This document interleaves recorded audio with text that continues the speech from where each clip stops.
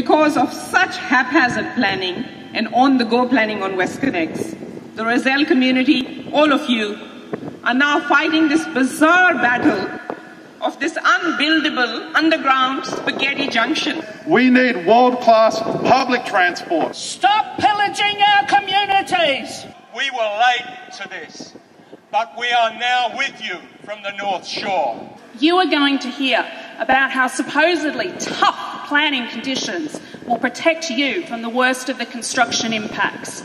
But tell that to the people in St Peters and Haberfield and Ashfield who are living with this 24 hours a day, seven days a week. With neither Labor nor the Coalition committing to filter stacks. And that demonstrates the extent to which those that are backing WestConnex, the lobbyists in particular, people like Nick Greiner, who came up with the original proposal for WestConnex, who's now an advisor to Transurban. As the toxic tentacles of toll roads spread across Sydney, far and wide, they are really tightening a hold on our hip pocket, on our health, and on our city. An extra lane for a seven and a half kilometre trip between Parramatta and Homebush. So far, this toll has led to 25% of anticipated M4 traffic shifting to Parramatta Road or other routes. That road upgrade will only take three years of tolls to pay off. It will fleece the motorists of Western Sydney. The secret deals, the hidden business cases, the billions of dollars of cost blowouts, the wastage of money. You're trying to earn a shilling, scratching for a living, playing fiddle at the monster's ball. I've been speaking to residents today who are suffering from severe asthma, from respiratory illnesses, from conjunctivitis and other eye infections because of that dust that is escaping and that WestConnex is failing to control, who can no longer open their doors and windows at home, who can't even turn on the air conditioning in their cars anymore. And this is not just happening in St Peters. It is happening in every suburb in Sydney that has been forced to cop one of these toxic WestConnex construction sites. Multiple motions to council to force action on the terrible night works, construction impacts, the dust and noise pollution every day and every night.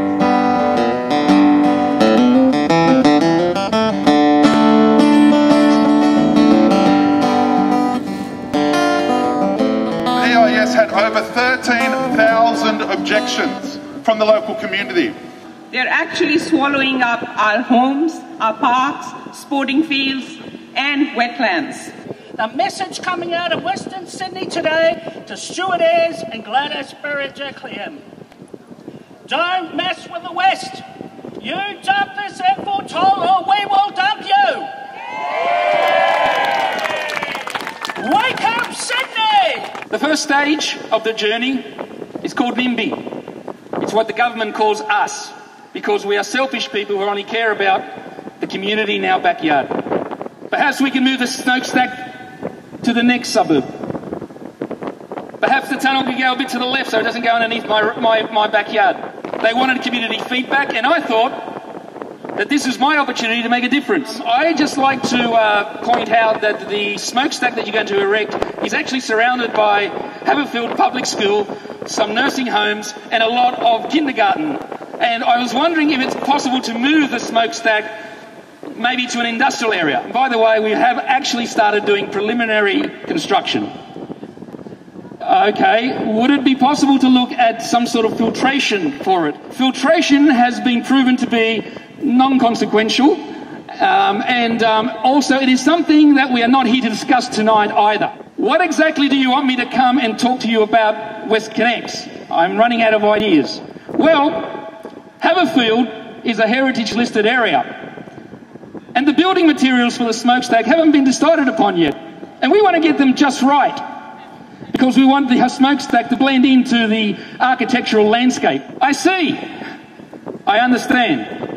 Do you have a brick chart? Sorry? No, it's all right. What I suggest you do is you consider some brickwork that is sandstone in texture with some earthly tones of browns and reds.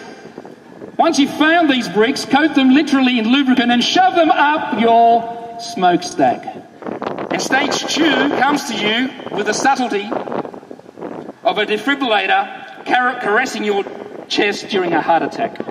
You wake up one morning and there's someone digging an exploratory hole in your driveway. Your trees are being pulped and turned into mulch. There's a bulldozer doing donuts where Mrs. Jones' house used to be, four houses down from you.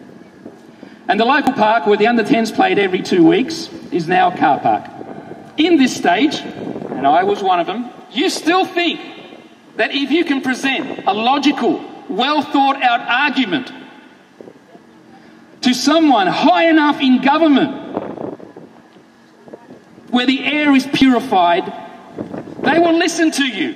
In search of my high altitude rarefied air in government, I fronted up to the toll inquiry.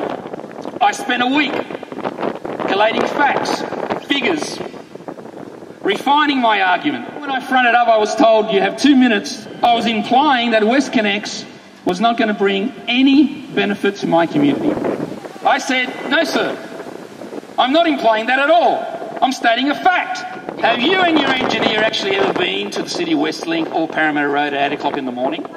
Stage three is where we probably are all at or we need to get to. This is where you realise that unfortunately, no matter what you say, no matter how articulate, no matter how well thought out your argument is, no matter how many submissions you submerge any politician in, the current government does not care.